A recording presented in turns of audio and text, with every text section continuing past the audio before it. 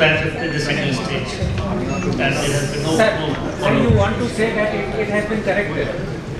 Which one? Case. The correction of what, tibial deformity or All, all, femoral? all deformities. The overall axial alignment of the hip to knee to the ankle is, is, is, is reasonably correct.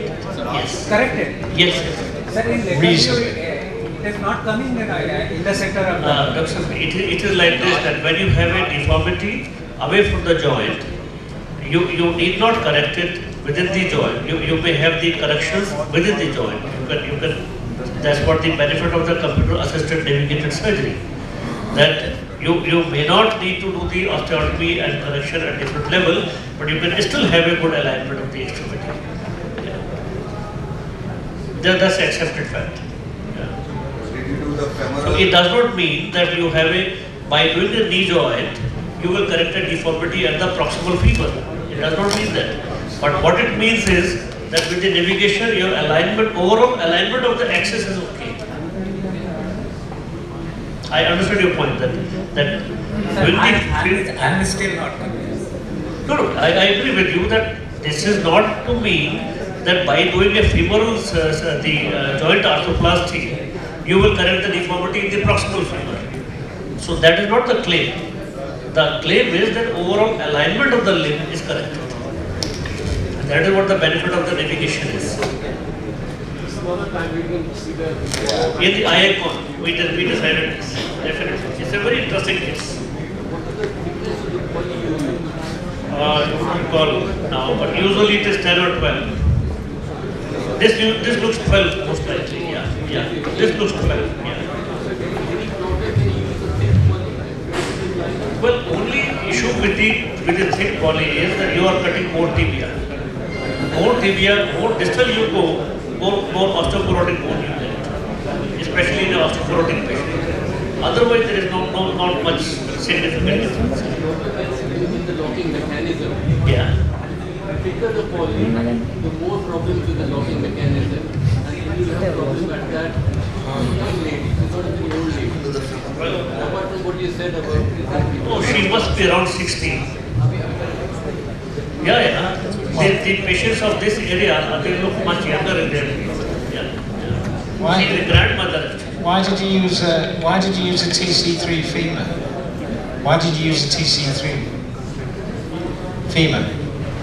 TC3 because, uh, because there is, uh, I was not convinced, it just was not an instability, but I wanted to give it an additional stability inside the joint.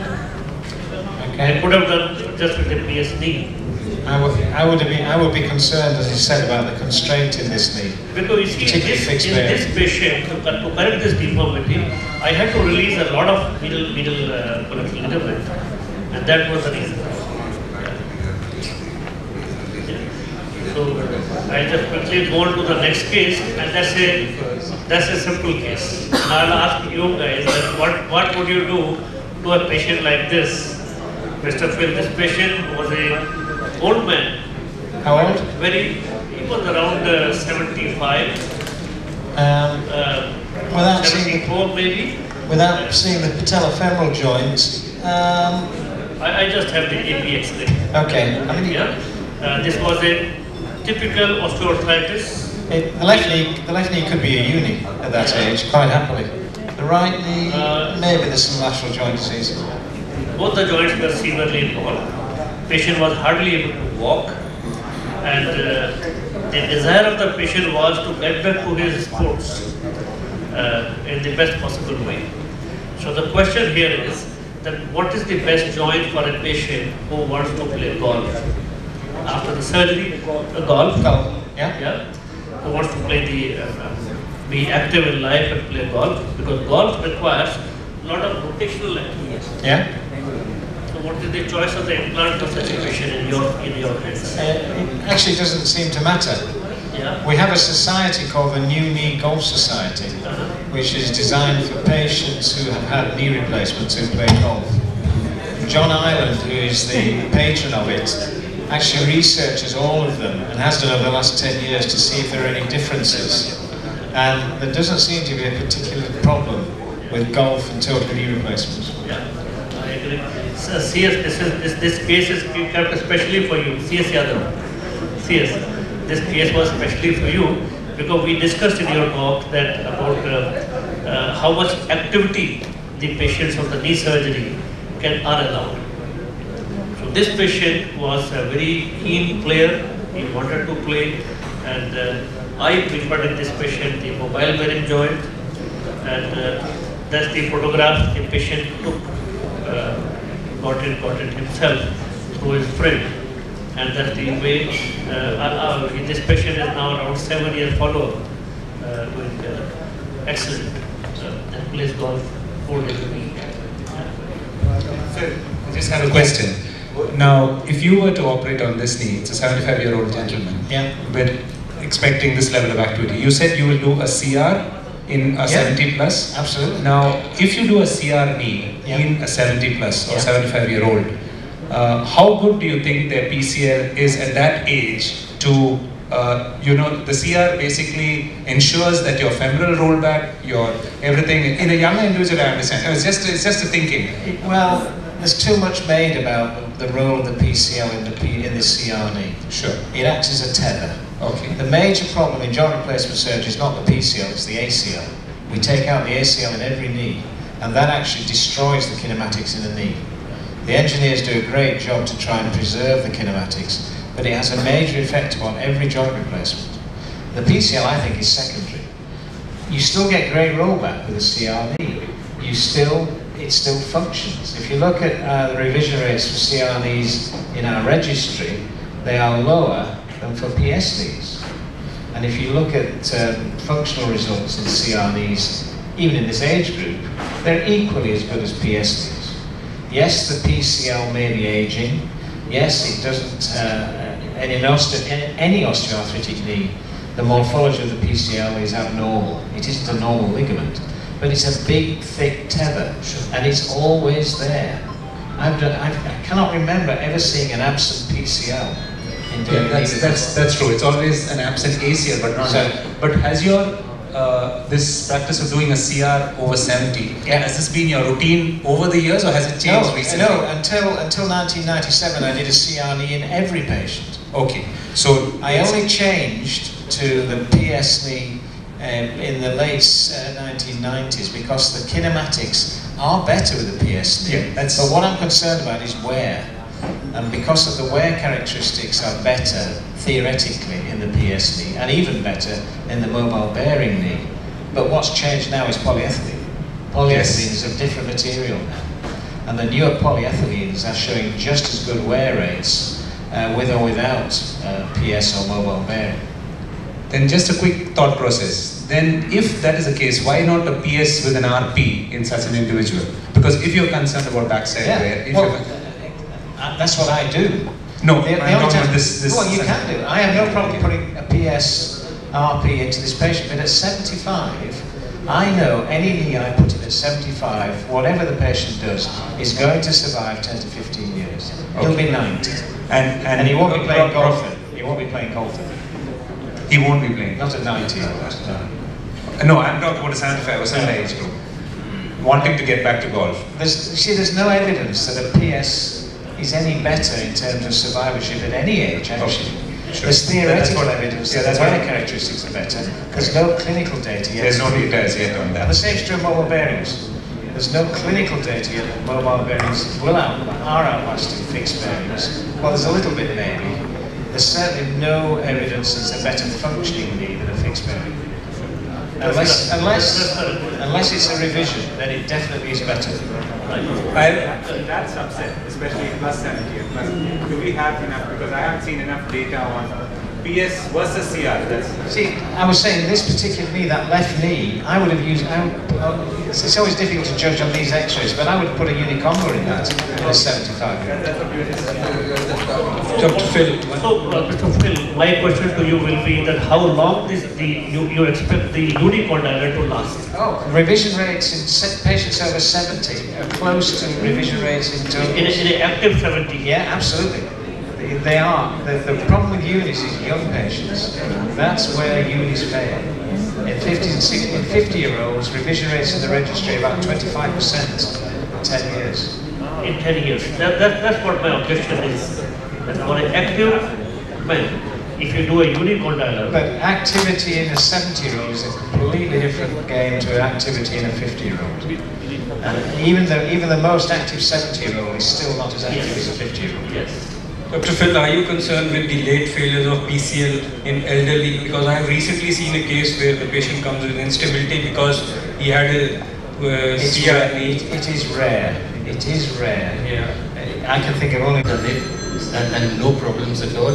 And, and I, I, Except for the gross ones where you may require to yeah, the, the, the, the dish is there. Once you put an alternate congruent liner, there's no, no, no instability at all. But, but even then, there was a paper from Nick Fillion in Bournemouth in the mid 90s where they did a comparison of knees and knees with resection of the PCL and a standard polyethylene component.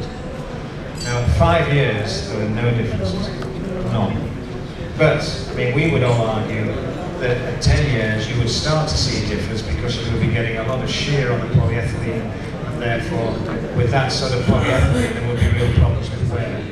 He never published a 10 year result, so I don't know what they were. You can't do it. On that same note, I mean, yeah, we know that if you take off the cruciate, your range of movement increases. is the PCL. No, no it, it, it does to a But- certain but extent, The definitely. deep What dish, if- deep dish will add to the stability. yes, exactly. So that's what the, what the purpose is. But yeah, that's not to cut the PCL and put it as what. No, no, no. That, that's Stability an all. always comes with constraint. Yes, yes, that, that will be adding the constraint as well. Right.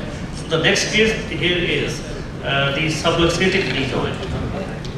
So what do you do in a kid who would like to sit on the floor? Uh, that's what it is. This is that. Yes, correct, correct. Does it?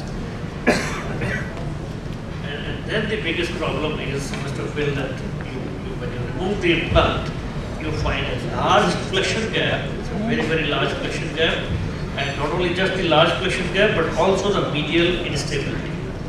Um, go back an X-ray. Yes. Um, yeah. If you look at that femur, it's uh, there is a bit of curve on it. Um, you're going to re- you're revising this knee.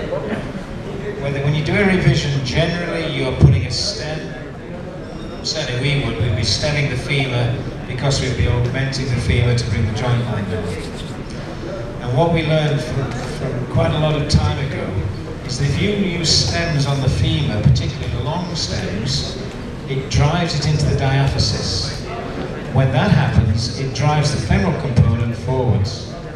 You, you, you end up with huge flexion gaps and snug extension gaps because the femur is actually in the wrong position.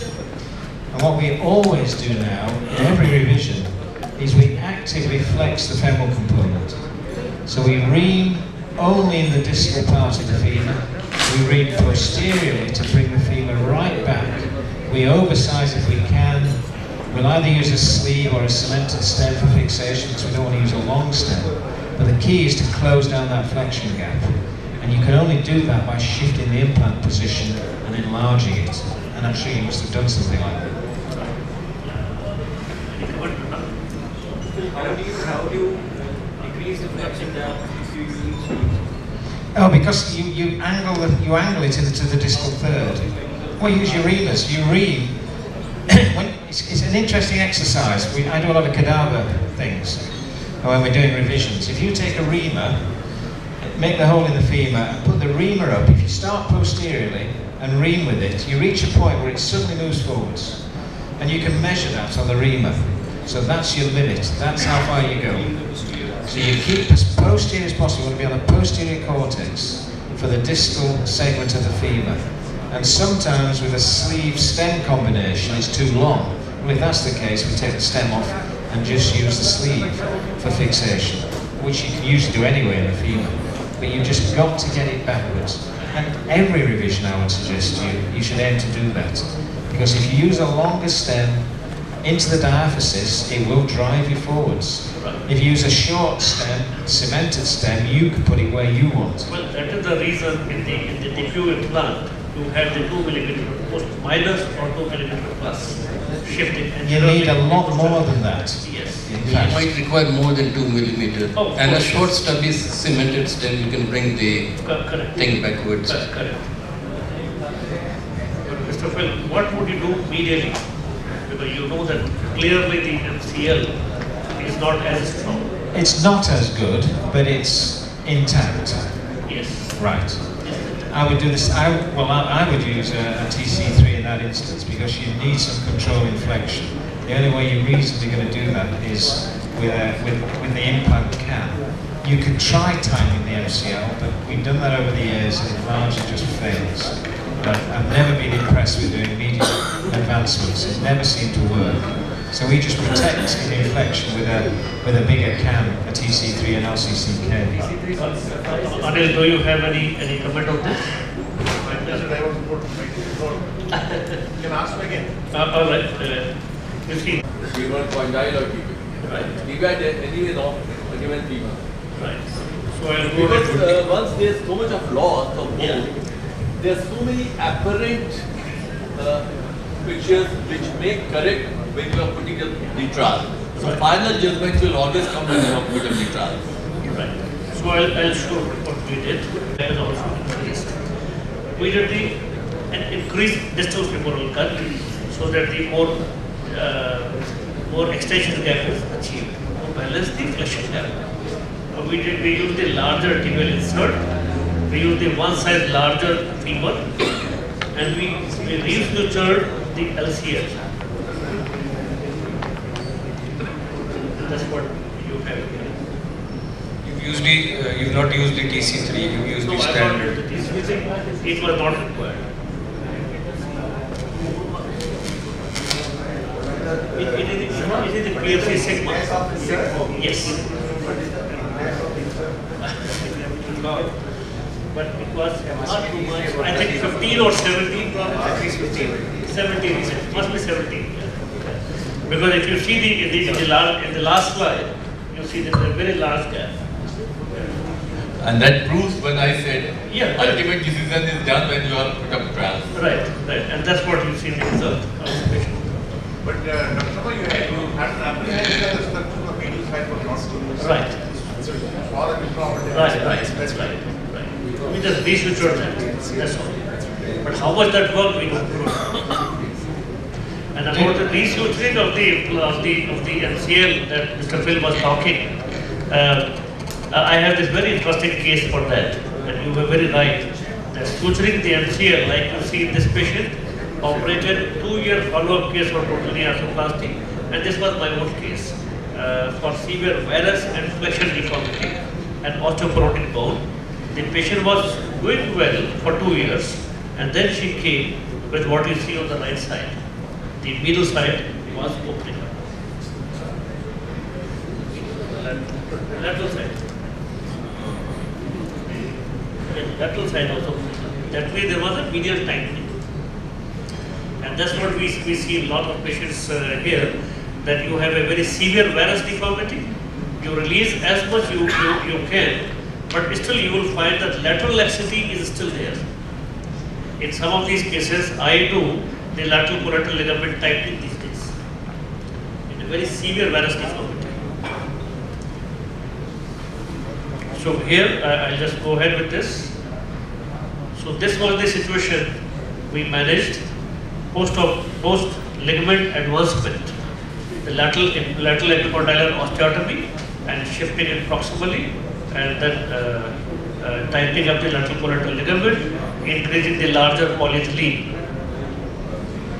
patient did well for some time. And five years later, patient presented like this. So it is a seven-year post, uh, and I have very large series of these patients with severe varus and flexion deformities. Because these patients in a short follow-up may be seemingly doing very well. But if you see them in a longer period of time, to 10 to 15 years, a lot of these patients will have the issues. So that's why if I have to do a, such a deformity today, uh, or even even at that time, probably the lot of cost constraints they, they limit our choice of the implant. I would use the extension stem, I would use the TC3 implant, and I would I would try to uh, uh, release as much of the MCL and tighten the lateral parietal ligament, all in one. Okay, any comment, Mr. Well, I think lateral laxity is not as critical as medial laxity. Right, If you lose the medial sleeve completely, you've had it. You need a hinge. right. Um, I have done I have done a couple of hamstring reconstructions of the medial side when I had a well fixed implant that presented with a, a ruptured MCL. Um, so far, they're okay, but I worry about them a lot because I think even with a good hamstring reconstruction, it's not still not a normal MCL. Um, and I, th- in this, I say you can tolerate the lateral side more than you can the medial side, particularly because the weight bearing axis is usually a bit more medial. Uh, still will be anxious about advancement. Uh, It's just got a bad reputation in my hands because of what we used to do years ago. It always, it never worked. And also, the lateral collateral is one of the supporting structures on the lateral side, but it isn't the only one like the MCO is on the medial side. You've still got the postlateral corner, you've still got IT band in the front. And so is just a lateral advancement enough? Do you need to reinforce the postlateral corner? Because that's what I do in an athlete who had a, a postlateral, who had lateral instability. So is just a lateral advancement enough?